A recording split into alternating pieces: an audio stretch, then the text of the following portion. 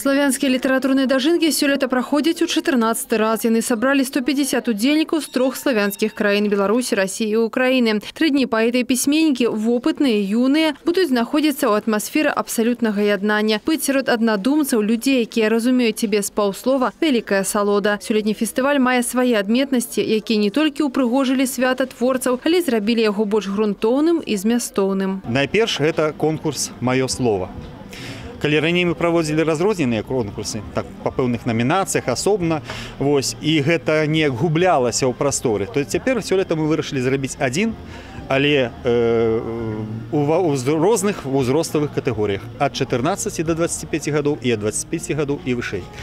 Усе хто піша паэзію прозу мы запрашалі да ўдзелу ў гэтым конкурсе конкурс вот так называется маё слово значыць ад мяне асабіста яно э, павінна прыйсці да чытача альбо да таго з кім я хочу подзяліцца у этом конкурсе прыняло ўдзел э, звыш 250 жыхароў гомельскай вобласці я лічу што гэта шмат Вось, по крайней мере за гэтыя 14 гадоў упершыню каб у конкурсе прымало столькі ўдзел Падчас фестывалю замежныя госці кажуць, што на Гомельшыне створана на зайздрасць усім моцная літаратурная школа. Юныя паэты і празаікі маюць магчымасць не толькі прэзентаваць свае творы грамадскасці падчас шматлікіх літаратурных конкурсаў, але і атрымліваюць падтрымку вопытных майстроў слова. В Гомельской области очень серьезная поддержка оказывается молодым литераторам. Это постоянные конкурсы, постоянные мероприятия. А вообще в рамках нашего фестиваля один наставник из числа опытных литераторов, член Союза писателей Белоруссии либо какого-то другого союза,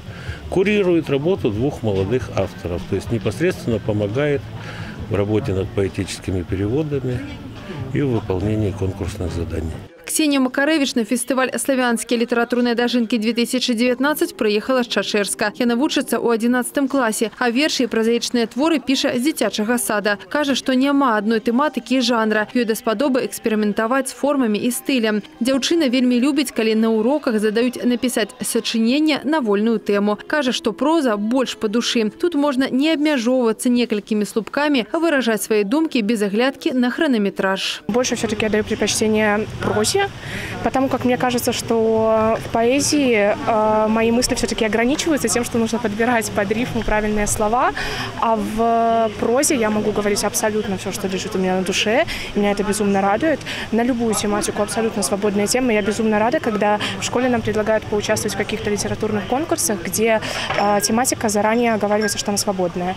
Э, это меня не ограничивает в литературном в моем плане. Фестываль будет доўжыцца яшчэ два дні. Заўтра пісьменнікі выступяць перад студэнтамі ГДУ імя Францыска Скарыны і падпішуць дагавор аб супрацоўніцтве. Таксама літаратараў будуць прымаць у клімаўцы гомельскага раёна, дзе пройдзе перадача кніг бібліятэцы, якая пацярпела ад пажара. 14 у дзень горада пісьменнікі збяруцца ў гомелі ў скверы імя грамыкі. Марына Джала, Валерій Гапанько, тэлерадыёкампанія Гомель з гомельскага раёна.